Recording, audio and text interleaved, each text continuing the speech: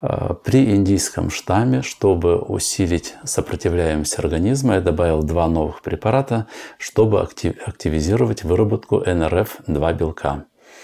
Препарат один э, Висигастр, который я всегда использовал при язвах желудочных, при гастритах, при хеликобактере. И э, два утром, две вечером, две капсулы. И тишечникус, препарат при нарушении флоры кишечника. Чайная ложка с горкой в суп, в кашу или с водой. Можно 2-3 раза в день.